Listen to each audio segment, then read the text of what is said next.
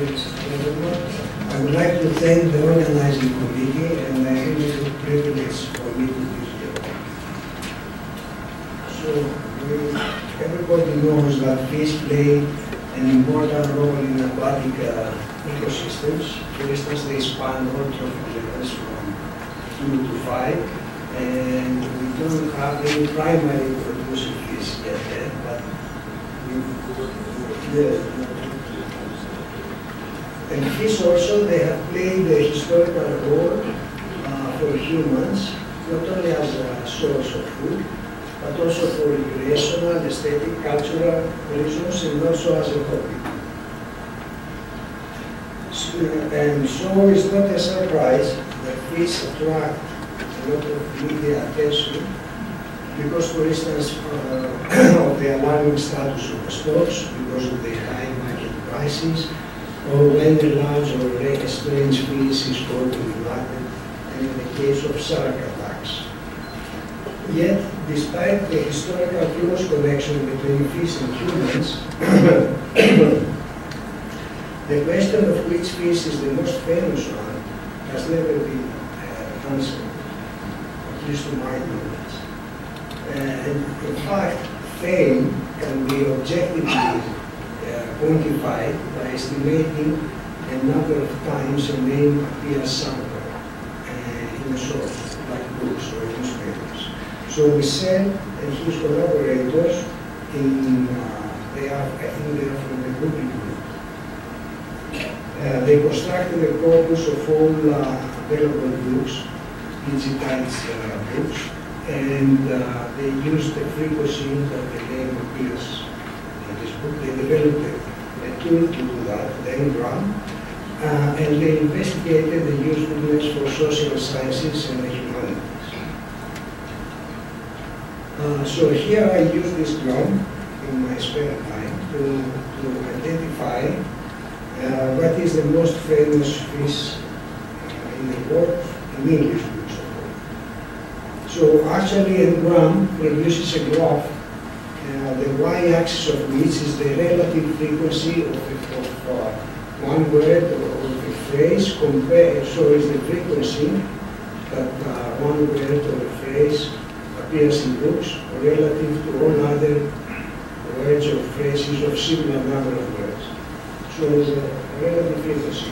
And uh, the analysis is available up to 2008, but they use the data up to 2000 because they are more consistent, and uh, there is an online, uh, let's say, uh, uh, guide to do that, how you do that. And I propose the, uh, the, the, definition of famine uh, as a unit of fame.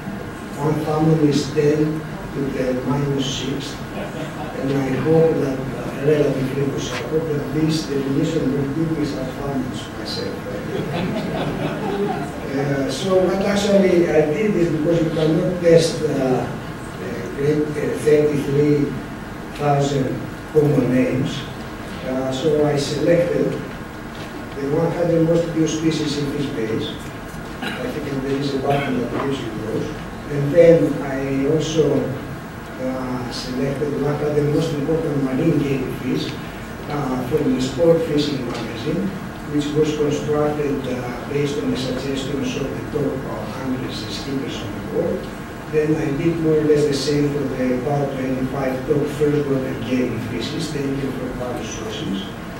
And finally, I did the same thing for the 86 more species that were selected randomly from fish base, actually as selected for its letter the first fish with common name. So yes, it's a bit rather. So, goldfish uh, evidently is the most famous uh, fish, attaining 100, uh, about 105 uh, farmers in the last uh, years. And then, with respect to the First World Sport Fishing, walleye is the most famous after 1970. And uh, the first 100 years, it was yellow perch, the most famous fish. And the swordfish, of course, is uh, the most famous uh, marine game fish, with uh, its fame increasing continuously for the last 11 years, reaching something like 50 fathoms. And uh, the fame of all remaining uh, marine game fish uh, was low, low, and started to increase after 1920 when the sport practically was established because of the invention of the locomotive. So goldfish is two times more famous than uh, swordfish, uh, which is two times more famous than walleye. And then from the 26 randomly selected species, uh, only two had very low uh, Ngram uh, frequencies, wallagoon and coragoon. So these are two commercial species that are relatively famous. So I think that uh, Ngram uh, has been successfully used for identifying the most famous of, of the world. In fact, Ngram has been successfully used in other disciplines from poetry and linguistics to global, to global university writings and ecology. Uh, so this shows that uh, indeed the tool developed by Michel and his collaborators is very important for all sciences and the humanities. Uh, now we go back a little bit to goldfish. Goldfish, uh, we know that is a freshwater fish, is the earliest fish to be domesticated and is the most popular aquarium fish. It was domesticated uh, more than 1,000 years ago in China, then it was transferred sometime uh, in the 16th, uh, 17th century. Yes, either in 1611 or 1691 in Europe, then in Portugal, and then it became in Europe. Sometime in the 1850s, in the, uh, it was transferred to North America. Of course, we expect that uh, a famous entity will be the subject of various other cultural activities. Uh, the goldfish is the protagonist in several movies, in several TV series, in scientific books, in poems, songs, and of course several paintings and it is worth to mention here that Matisse started in about uh, 1912 to work on goldfish, using goldfish as a subject of his work. And goldfish appears in at least nine main paintings and many sketches in this work. Uh, do I have time? Okay, now the analysis here, uh, there are some other implications which are outside the scope of this uh, work. For instance, uh, in most of the Ngram frequencies, uh, we can see that uh, all of those uh, will exhibit short and long-term periodicities that might reflect important historical or cultural events. Of course, uh, another thing that is very important is that the common name must be unique, must be used only for one species and for nothing else. Because, for instance, Oscar, the, the species that has a common name Oscar, uh, attained very high levels of fame, uh, 800 fathom, fathoms, but Oscar refers to many things, from you know, Oscars, the words, various people, animals, fictional characters, and finally, books is only one source uh, in which you can, uh, you can study and reputation. There are many other important sources like newspaper, magazines, media, blogs, social networks, uh, and possibly others. So my talk will end here. Because fame is relative, I had to see how famous is goldfish. So I compared the fame of goldfish with those of other animals that uh, have a strong uh, relationship with us, as well as with the list of animals that were voted as the most favorite animals in the world from the Animal Planet Cable, the satellite channel, with tiger topping the, the list. So, goldfish is not very famous, Its, uh, its fame is higher only uh, than uh, the fame of the chimp and the crocodile, but it was smaller than the fame of all the other animals. And horse is the king of fame. Horse attains uh, something like 20,000 pounds, which is a lot. So this drives me to the next thing. How famous is horse? So I will not use Daniel as a point of reference, but I would like to compare with uh, the fame of humans. So, yes, horse behaves very well. Aristotle and Plato, they have a fame around 2,000 pounds. Uh, Alexander the Great, Goldfish, and Albert Einstein, they have a fame around 100 pounds. But then again, I wanted to check to see who is the most famous person. I didn't do it, but I read it in Wikipedia. It's uh, Jesus, most famous, and then I checked it, and Jesus has uh, 60,000 followers in the beginning, but now the decline sharply is around 30,000 So I end my presentation.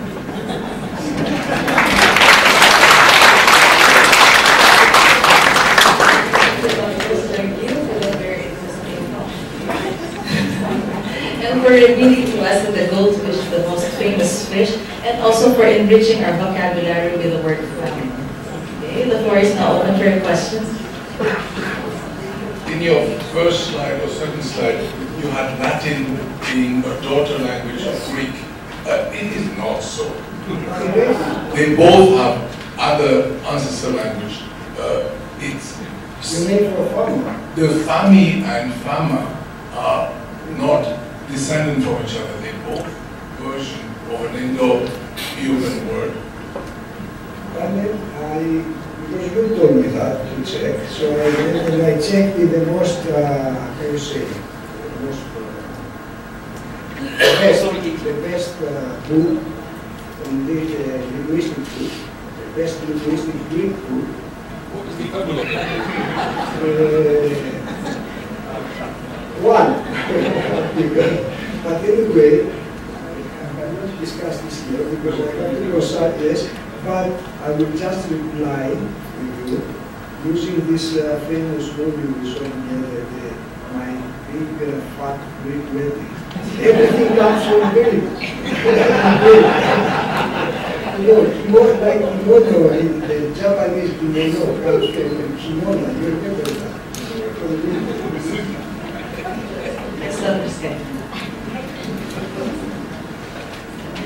Thank you, very interesting. Uh, I would like to report that in Sweden, from the 70s on, the most famous um, fish species is the great white shark, shark due to the horror movies that uh, um, was going on there, Jaws, and after that, um, lots of Swedish people were very afraid to take a bath.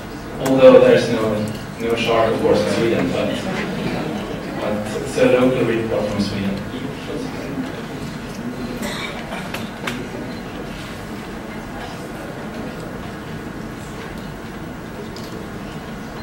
Thank you for a very interesting, uh, from World Fish Center. Thank you for a very interesting and light presentation.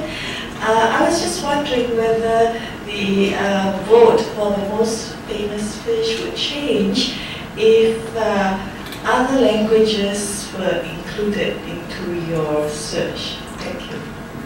Yes, probably, probably, but uh, I think there are. Uh, Telegram users can identify the most famous uh, entities in Spanish, Russian.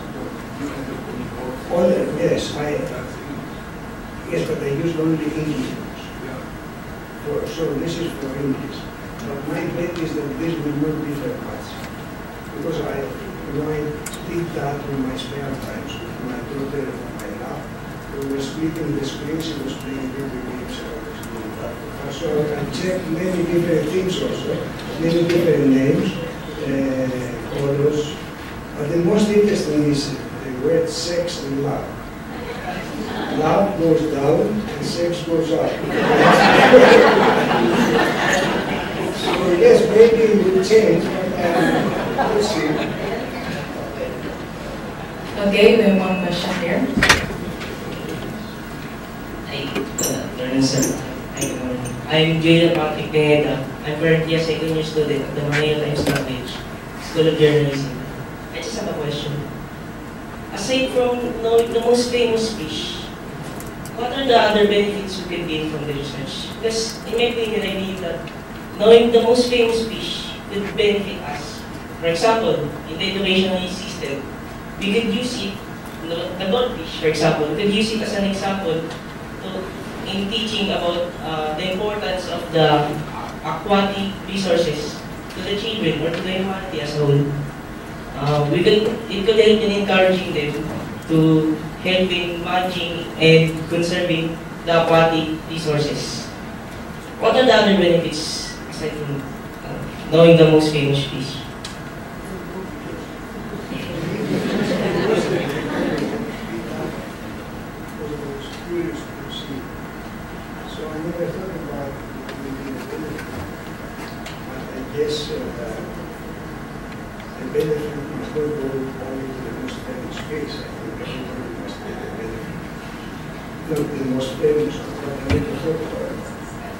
Thank you. Thank you. Okay, Thank you, Dr. Stergiou.